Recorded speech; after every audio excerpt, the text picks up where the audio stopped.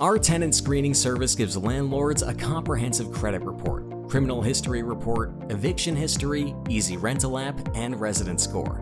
Landlords can send a request easily with just the applicant's name and email. Follow these steps to send a screening request to your potential tenants or applicants. Log into your EZ Landlord Forms account and click on the Tenant Screening tab on the blue menu bar.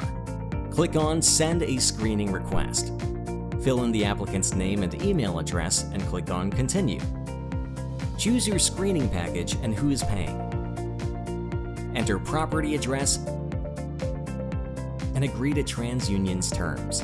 Click on Send Screening Request now. Your applicant will receive an email with a link to our screening site, tenantapp.com, where they can fill in the application and verify their identity.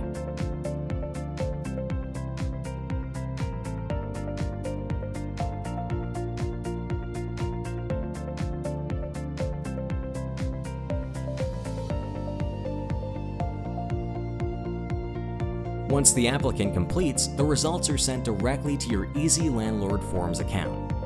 You can download and save the results to your computer to keep a record of your screenings.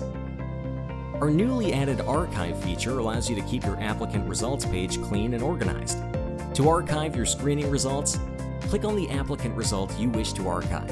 Click on Archive this application. Easy as that. Go to ezlandlordforms.com to start your tenant screening requests today.